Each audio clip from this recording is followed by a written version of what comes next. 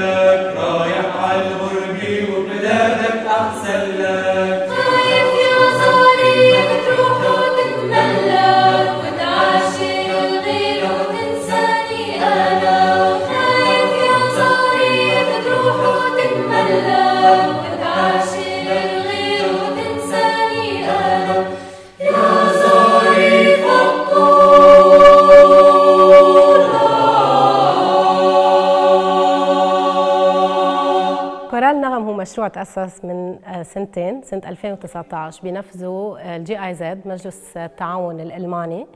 آه، بالتعاون مع كورال الفيحاء ووزارة الشؤون الاجتماعية وبتمويل من الاتحاد الأوروبي ضمن مشروع UDP NL اللي هو مشاريع تنمية محلية لمناطق شمال لبنان. اليوم الحفلة هي نهاية المشروع ختام المشروع بس بالنسبة لي للكورال هو بداية مشروع جديد. يعني نحن صار كورال تأسست وخلص نحن مستمرين شغل.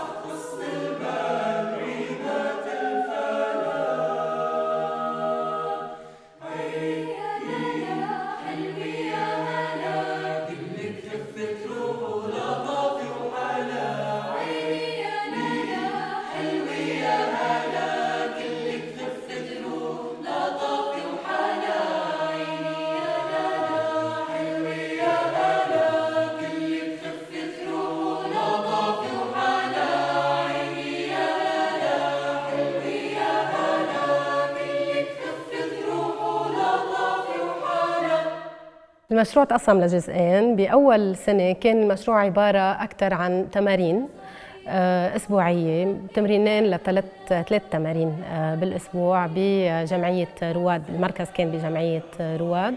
وصار في حفلة كمان أو حفلة أو حفلتين خلال السنة كلها. ثاني سنة كان المشروع هو حفلة يعني تنفيذ أو يفرجي نتيجة هالشغل بأول سنة بثمان حفلات آه، بمعظم المناطق ال- ال- الشمال. أنا برأيي كورال شغل جماعي بامتياز والآلات موجودة معنا أصلا. آلات البشرية هي يعتبر أحسن آلة موسيقية اللي بينطق بنفس الوقت كلام. آه، هيدي السلاح مفروض يستخدم لنجيب الناس نوحدهم مع بعض. من دون ما نقول حبوا بعض ما فيش لزوم. أصلا بس ينجح شيء آه، ببلش يحب بعض بيقدروا يتعاونوا مع بعض بيبلشوا يلاقوا شو الأشياء المشتركة بيناتهم وشو الاختلاف بيناتهم. مع إنه بالنسبة لي الاختلاف في غنى. الاختلاف ضروري جدا. الله خلقنا مختلفين. أنا كل ما يكون عندنا حفلة قبل بيوم برجف بفكر بفزع. هذا الشيء ما بإيدي صراحة. قديش صار عاملين حفلات بس كل ما يكون عندنا حفلة على المسرح بخاف كثير بدق قلبي كثير شيء ما بإيدي صراحة لأنه مثل ما بيقولوا رهبة. المس... الم- المسرح هيبة كبيرة قدام الجمهور. خدك لي معايا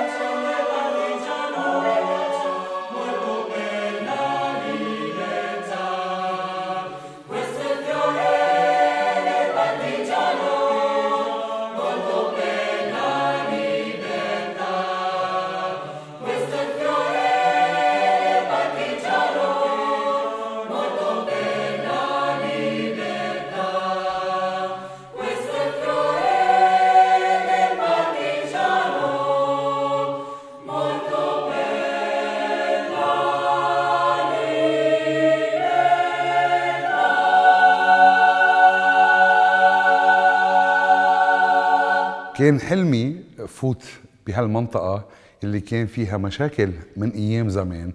الحمد لله هلأ خلصت نوعا ما وهيدا الشيء اللي عم نعمله 100% بيفيت للتلاحم بين الشباب والجيل الجديد جبل محسن والباب التبانه إذا بدي أحكي من برا أنا حط حالي محل هالشباب اللي موجودين بهالكورال. بتخيل حالي برجع لورا 11 سنة أول ما فت بكورال فيحاء. شو كنت أعمل قبل ما أغني بالكورال؟ كيف كنت أقضي وقتي؟ وكيف هلأ صارت حياتي كلياتها موسيقى ومع العلم أنا لا دارس موسيقى ولا عندي خلفية موسيقية.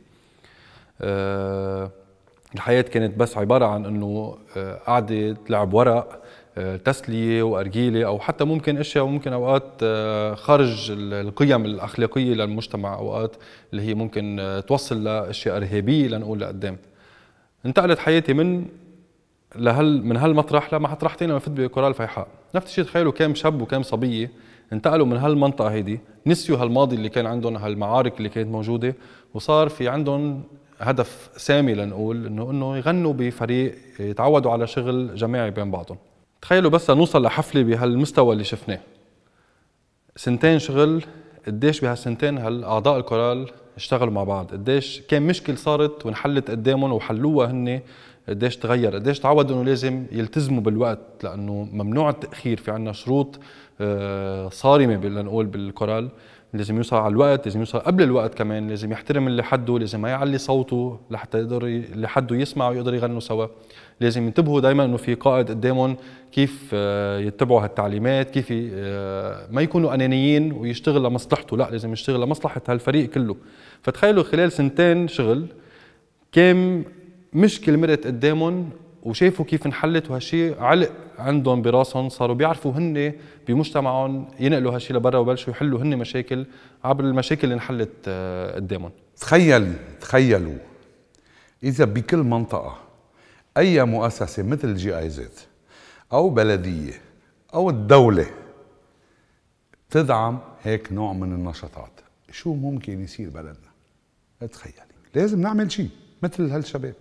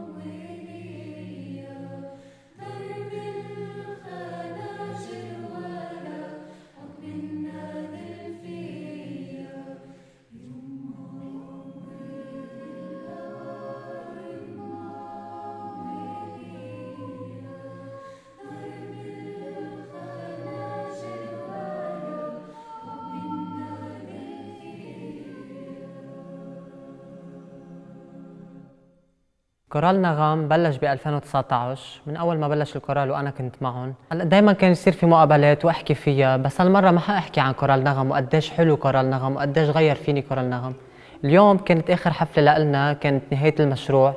أنا بدي أقول لهم إنه حكون شوي يعني غامض بهودي المواضيع وبدي أقول لهم إنه أنتم تعوا أنتم جربوا كورال نغم وشوفوا قديش حلو وقديش بغير بحياة الإنسان وقديش بنمي قدراته ومواهبه.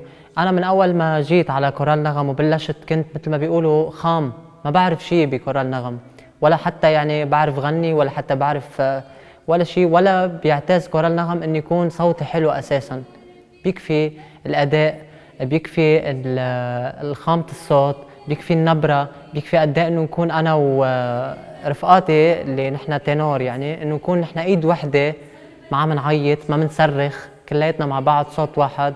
وإن نضلنا كل الوقت وكل المشروع إيد وحدة لحتى نكون وايا ويطلع منا شيء حلو. لما أجي متأخر على التمرين قل له قل له للمايسترو يعني إنه صار معي مشاكل. مثلا في أيام ما بيكون معي مصاري انزل أجار طريق انزل مشي مشان ما ألغي هيدا اليوم وما أجي فيه. انزل مشي ومهم أكون أنا حاضر عن التمرين. لو جيت مأخر حقول له للمايسترو السبب ويعذرني. فتت على كورال نغم من أختي هي كانت بكورال نغم وأنا أصلا ما كنت بحب الأغاني القديمة وكنت انه إنه شو هالأغاني وكيف تغنوا وهيك. آه، بعدين صاروا رفقاتها ويشجعوني هيك إنه فوتي وهيك. ففتت ومن أول يوم إنه هيك استغربت إنه كيف كل كل الأغاني بتفوت ببعضها وهيك وبيطلع شيء كثير حلو.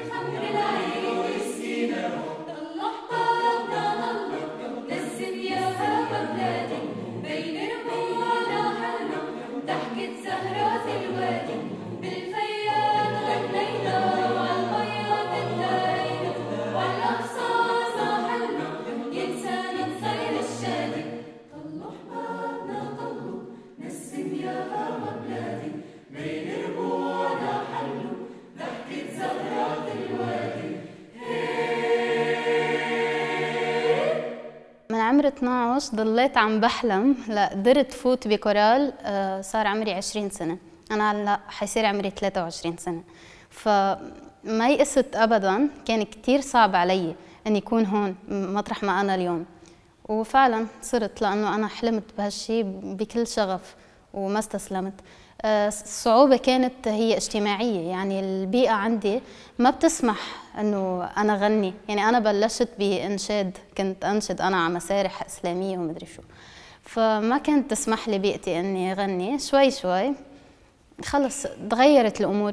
أصلا كورال فيحاء مثلا أو كورال نغم وأي كورال هيك عم يطلع هو اللي عم يغير يعني رأي العالم بالغناء بشكل عام. لأنه عم يشوفوا إنه في شيء كثير حلو. ما عم يشوفوا شيء غلط. إنه شو عم يصير؟ الموسيقى فعلا هي شيء بيصلح وبيقرب العالم من بعضها يعني ما بظن إنه شخص ملتزم تحطيه قدام كورال آه، تسمعيه يعني كيف عم يغنوا وما يعجبه. حينبسط من جوا. يعني ما حيقدر. آه، من بعد ما ما كنا نحن إنه بالبيت إنه خلص نحن بنات الساعة 9 بنفوت على البيت إنه ما بالليل يعني. فمن بعد في حفلة راحت الماما وحضرتنا وعرفت كيف عقل المايسترو وحكاها وقالنا وقال كل شيء يعني. فمن وقتها وثقت فيه إنه خلص ولادي معه إنه ما ما بتعتل همنا وهيك.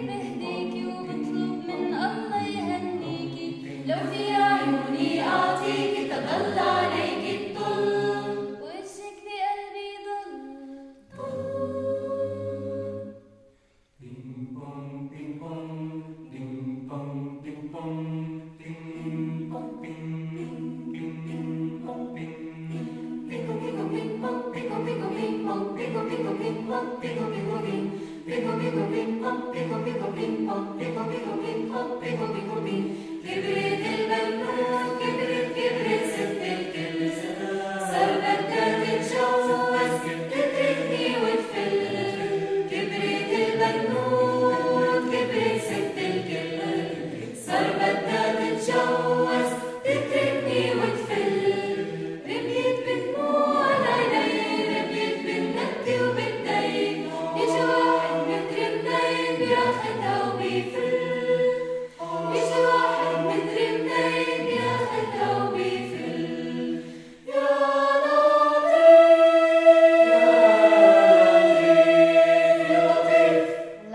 كورال نغم انفتحت لي كتير فرص. صرت يعني فجأة لقيت حالي بشي خمس كورالات. بس عقد ما حبيت هيدا النوع من الغناء. من قبل ما كنت فايتة بنشاط إنه أولاد من جبل محسن وتبانة وما كنا كتير يعني هيك. بس وقتها فتت شفت كيف اثنين اثنيناتنا ما كانه إنه ما كأنه هو علوي وهيدا سني. وكلياتنا كنا إنه ناس طبيعية كلنا بنحب بعضنا كلنا مثل أخوة يعني كلنا مع بعضنا ما كنا عنا هيدي الفكرة إنه جبل محسن وتبانة بيتعلقوا مع بعضهم وهيك. فما كان عنا هيدي ابدا هالفكرة. كتير حبيت هيدا الشغل وفتت فيه بجدية أكتر.